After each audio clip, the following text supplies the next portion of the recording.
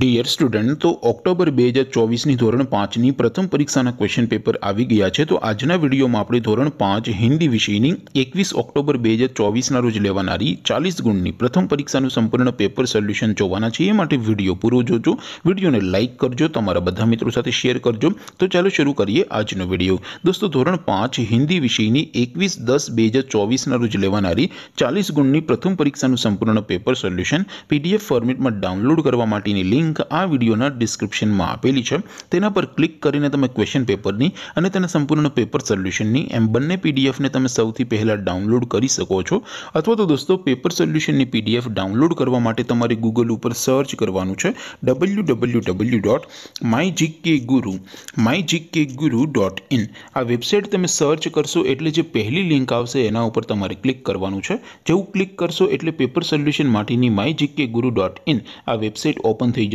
website open થયા પછી તમે સ્ક્રોલ કરીને થોડાક નીચે જશો તો ત્યાં તમને પેપર સોલ્યુશન માટેના ધોરણ વાઇઝ લીલા રંગના બોક્સ જોવા મળશે દોસ્તો અહીંથી તમે કોઈ પણ ધોરણની બધા જ વિષયોની પ્રથમ પરીક્ષાના ક્વેશ્ચન પેપર અને તેના સંપૂર્ણ પેપર સોલ્યુશનની પીડીએફને સૌથી પહેલાં ડાઉનલોડ કરી શકો છો જેમ કે દોસ્તો અત્યારે હું ધોરણ પાંચ માટે ધોરણ પાંચવાળા પહેલા બોક્સ ઉપર ક્લિક કરીશ જેવું ક્લિક કરશો એટલે નવું પેજ ઓપન થશે નવું પેજ ઓપન થાય એમાં તમે સ્ક્રોલ કરીને થોડાક નીચે જશો તો ત્યાં તમને ધોરણ પાંચ પેપર સોલ્યુશન બે હજાર ચોવીસનું એક બોક્સ જોવા મળશે જેમાં દોસ્તો નીચે લખેલું છે ધોરણ પાંચ હિન્દી પેપર તેની સામે ડાઉનલોડ બટન છે તો એ ડાઉનલોડ ઉપર ક્લિક કરશો તો ધોરણ પાંચ હિન્દી વિષયની પ્રથમ પરીક્ષાનું ક્વેશ્ચન પેપર પીડીએફ ફોર્મેટમાં ડાઉનલોડ થઈ જશે તેની નીચે લખેલું છે ધોરણ પાંચ હિન્દી સોલ્યુશન તેની સામે પણ ડાઉનલોડ બટન છે તો એ ડાઉનલોડ ઉપર ક્લિક કરશો તો ધોરણ પાંચ હિન્દી વિષયની પ્રથમ પરીક્ષાનું સંપૂર્ણ પેપર સોલ્યુશન પીડીએફ ફોર્મેટમાં ડાઉનલોડ થઈ જશે તો દોસ્તો આવી રીતે તમે ધોરણ પાંચના બધા વિષયોની પ્રથમ પરીક્ષાના ક્વેશ્ચન પેપર અને તેના સંપૂર્ણ પેપર સોલ્યુશનની પીડીએફને